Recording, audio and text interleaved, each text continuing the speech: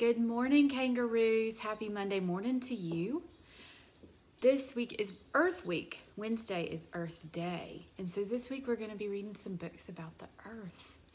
And you can do things like plant some flowers or pick up some trash around your yard or take a nice walk and listen to the birds. Um, do any of these things for Earth Week. You can do some recycling you can do some recycled art projects, kind of like Creation Station.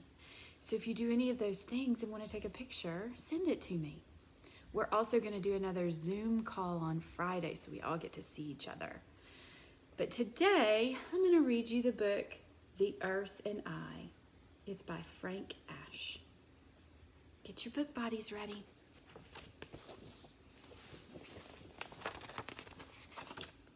The Earth and I are friends.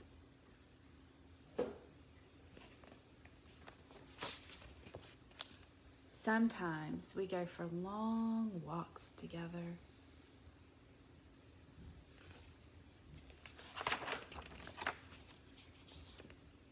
I tell her what's on my mind, and she listens to every word.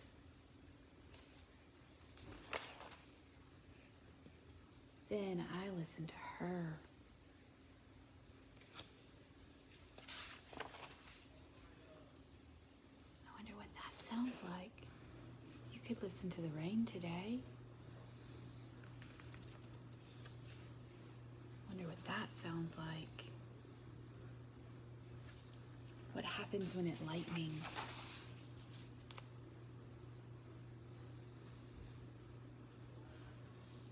The earth and I are friends. He sees a rainbow. We play together in my backyard. Oh, that looks fun. I wonder if any of you are playing in the mud. I help her to grow. It's another thing you can do for Earth. You can plant a garden some flowers. She helps me to grow.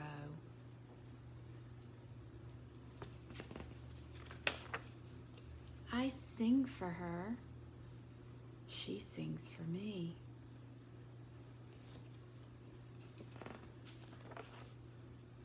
I dance for her.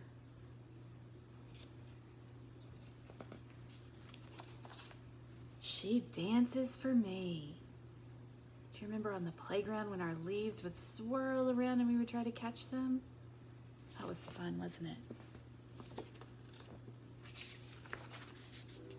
When she's sad, I'm sad. It's too much garbage, isn't it?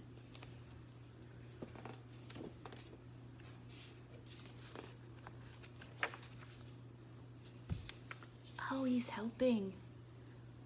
Look, he's picking up all the garbage, planting some flowers. It's a good thing to do for the earth.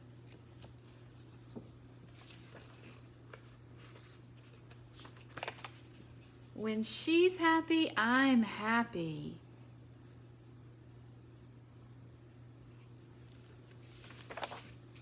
The earth and I are friends.